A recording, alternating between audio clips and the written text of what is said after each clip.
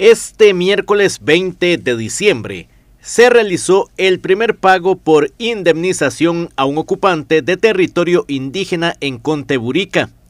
con el fin de poner en posesión de esa propiedad a la Asociación de Desarrollo Integral Indígena de ese territorio.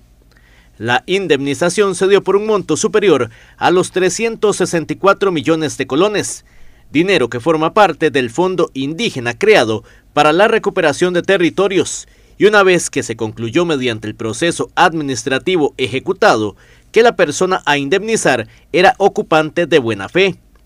Este hecho se cataloga como histórico, ya que es la primera vez en décadas que el gobierno de nuestro país procede a una indemnización por tierras indígenas.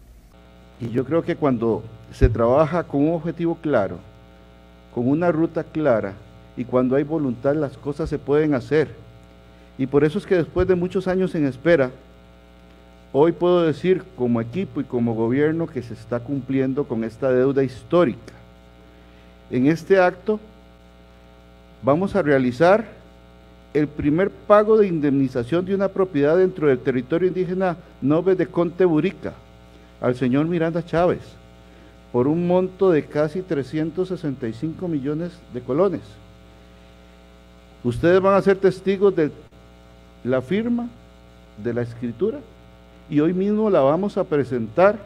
y estoy casi seguro que mañana va a estar inscrita. El ministro Campos destacó el trabajo de la Mesa Técnica Interinstitucional para Asuntos Indígenas formada por DINADECO, Ministerio de Seguridad, el INDER, CONAI, Ministerio de Trabajo y Seguridad Social, la Unidad Técnica de Consulta Indígena y el Ministerio de Justicia y Paz. Valoración que acepta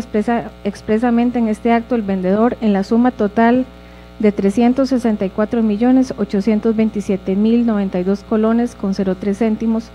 monto que se le paga en este acto al vendedor mediante cheque número 149618 de el Banco Nacional de Costa Rica y declara haber recibido entera satisfacción.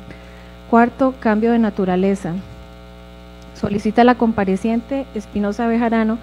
se cambie la naturaleza de la finca para que en adelante se lea territorio indígena de Conte Burica. Que este evento va a marcar un antes y un después, porque desde que se inició el gobierno, uno de los compromisos que tenía don Rodrigo y nos lo hizo saber, era tratar de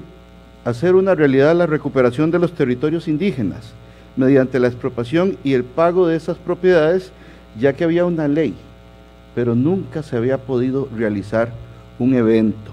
Con esta acción se continúa con el plan de recuperación de territorios indígenas, con el fin de que se dé bajo las vías legales correspondientes, evitando actos de violencia.